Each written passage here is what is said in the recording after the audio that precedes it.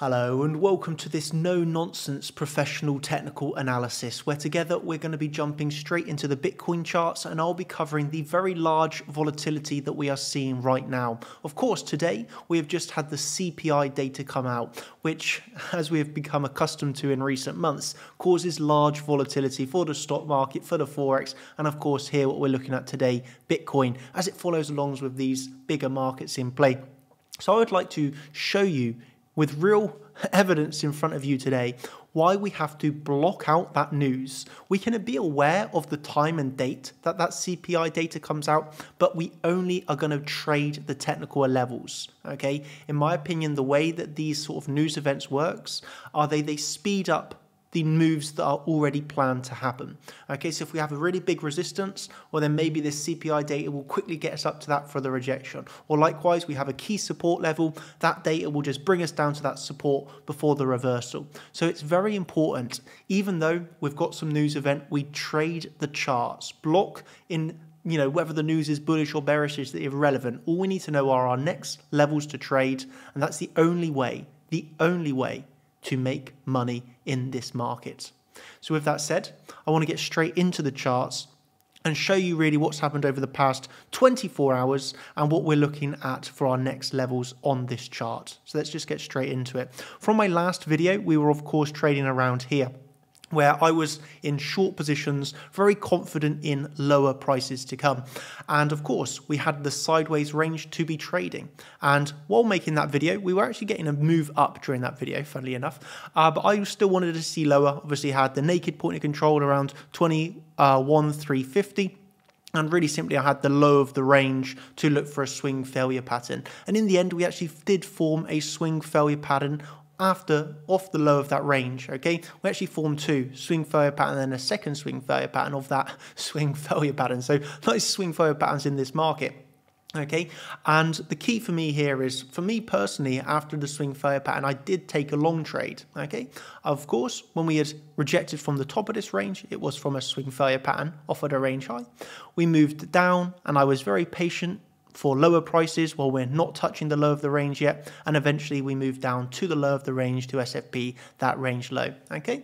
And so for me, that's a very calm and collected trade, which I've pre planned. And for me, it is a long position. I personally took the long off for the first SFP here, come up and hit my take profit one, and then got stopped out of the rest of that trade as we formed the second swing failure pattern. Okay, and for me that was I, I simply got stopped out of the trade. I could actually show you some of my posts here. Um, so let me try and find here. Yeah, so for me, this is while we were still trading within this range. I said yesterday, for me, I'm happy to remain in short trades at the moment, look for lower prices, still was short on some of the altcoins.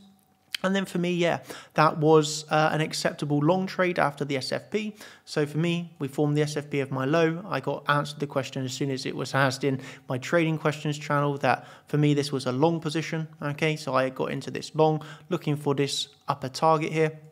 Okay, and then this is what we call perfection off of this. we actually had that higher, you know, the, the, the, target here. I'll just show you the before and after picture, confirm to my team that I'm long. For me, the first target is simply here, by the way. We actually come up, we hit that target, we bounced off that level once more, and we come then down for the second swing failure pattern of the low. I personally did not take this long, so I kind of missed that trade because it was the low. Okay, and we made our way up. And where did we reject from? Well, I'll show you here. We actually rejected from the CC. Okay, so now we're going to add on some new technical analysis here, and you can see here we come up from CC from high to low. We rejected from that CC, and then really simply to my team, I'm telling my team then the next levels that we have to take the trades. Okay, and for me, it was really simple. Okay, when we zoom into the chart here, it's still that same sideways range, but we now have a new level below us, which was the NPOC at $21,612. Okay, and have a look what we had as confluence on that. Fibonacci from low up to the high of the move. We come into the CC there as well. So we have just remind ourselves what's happened then over the past 24 hours. From high to low, we rejected here off the CC. Then from low to high, we will support here off of the CC. And what was the confluence that we had here? It was our NPOC. Okay, so you can see here how that level was very well respected. And so as I posted over here on Twitter with a few more, you know, from my questions channel. And this is the good thing, right? If I ever post a chart in my group, you can ask as ever many questions as you want about my charts and I will give you the answer. And so naturally today, when I posted this this morning around 9 a.m., uh, you know, for me, the next level for me was 21,600. A lot of people are asking, am I still looking for 21,350? Am I still looking for 21,100? And for me, my answer is simple no. I'm not looking for 21 100. For me now, I'm looking at 21 600 because that is the next level of my support. Really simply, it's level to level. 21 612 is my level to hold. And I also asked the question am I, am I bearish at the moment? And my answer to that was also no. I am not bearish anymore. I'm really simply 50 50 neutral as we go into the CPI volatility later today. And then I actually was asked a question a little bit later after this saying, you know, um, you know, with the CPI volatility, are you going to take a trade? My answer was yes. And actually, if we hit 21,600, I will happily then take that long trade. Remember, I was in no longs locally there because of the second swing fair. I got stopped out my first trade. So I was keen to take a trade if I got a reaction, and a reaction we did get. Okay, so then we had formed this low, into the CC, into the CC. That's like I've just shown my team a little bit later in these posts. But this move that we actually got up to here, as you can see off of this Fibonacci pull, was, funny enough, let me just delete it and show you, Fibonacci from the high down to the low into the CC. So literally over the last 24 hours, we've went from high to low, rejected from the CC zone, then from low to high, found support off of the CC zone, and then from high to low, rejected from the CC zone. So uh, yeah, CC Fibonacci galores right now. And I'll actually just show you this really nice NPOC level that we had of confluence, remembering that was the level that we were aware of this morning at around 9 a.m.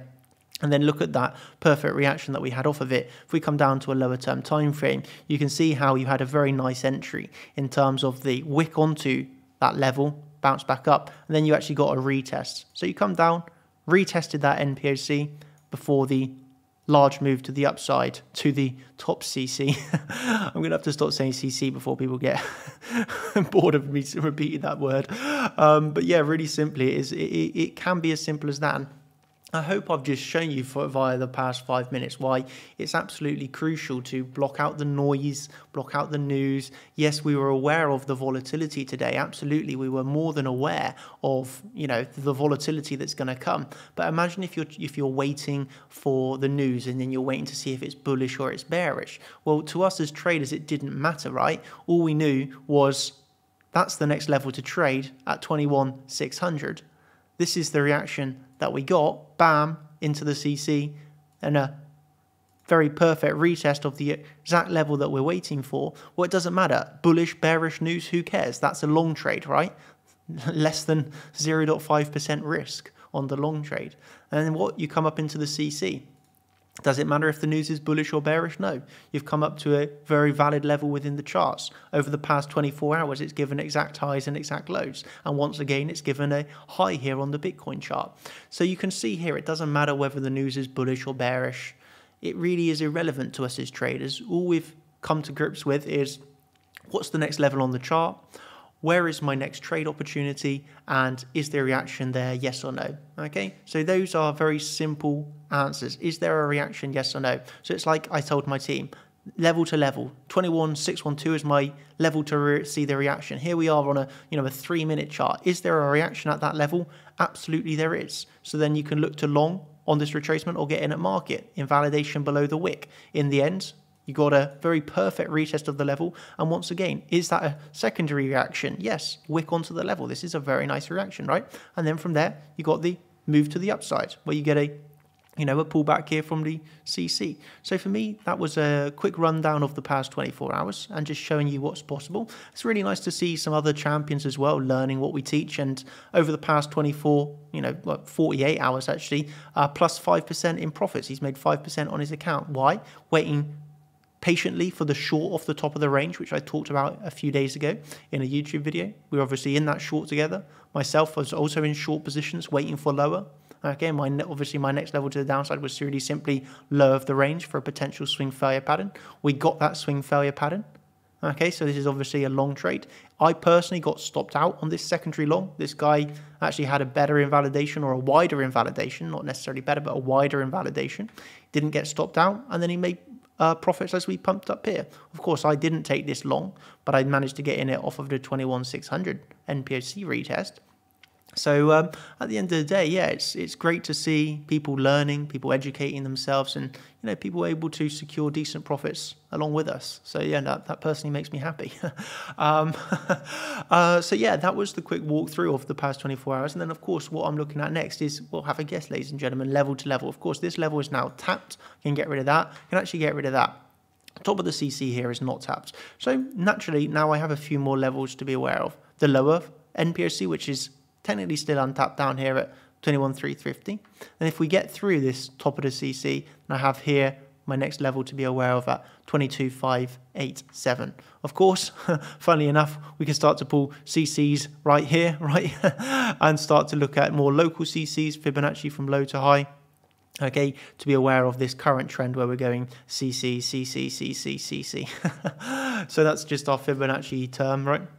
Um, so that's the sort of things that I'll be looking at next. Okay, take a look at the stock market, take a look at the forex market, take a look at Bitcoin market, which we've gone through in this video, and make ourselves ready, make ourselves aware of the next levels, and then really simply set the alerts, trade their reactions. Ladies and gentlemen, I know some people might refer to this as a um, I don't know, some people might not like this style of trading, but this is the style of trading that I use. This is how I've made millions of dollars from trading the markets. And, you know, this is what we teach. And as you can see from the results of the people that have studied hard, you know, they can replicate these methods, okay, maybe even create their own strategies off of it and really become a profitable, self sufficient trader. And that is our goal at Chart Champions. It is to create you into a self sufficient trader. So we're not a signals group. We're not here to say, long here, entry this price, stop loss this exact dollar, target this exact dollar. We are not a signals group, right? Of course, we give heads up, we give our levels, uh, but at the end of the day, we, we don't focus on signals. We're not here to spoon feed anybody, but we're here to really educate you and push you up to the best of your abilities. So you can then, instead of handing you the fish, you're able to go and fish yourself, right?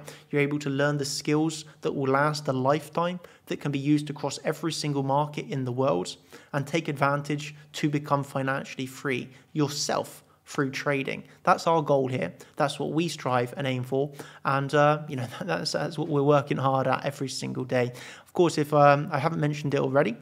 We now have, you know, been working very hard. While others talk, we work and build, right?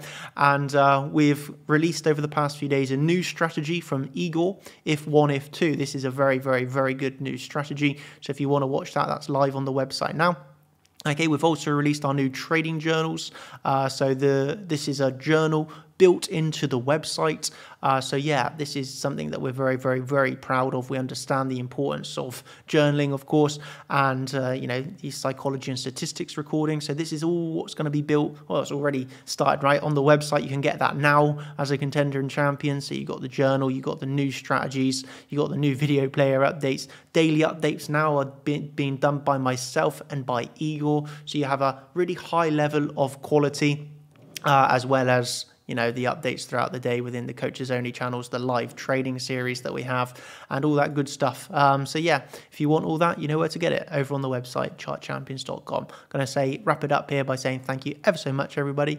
I hope that you have thoroughly enjoyed, and yeah, be sure to catch you Hello. in the next one. Hello, Igor, and goodbye. Cheers, everybody. Thank you, and it's me signing out. Goodbye. Of course, I'll end with the legal trade disclaimer. No financial advice in this video, just an entertainment educational video only trades on paper demo trade accounts. Cheers and goodbye.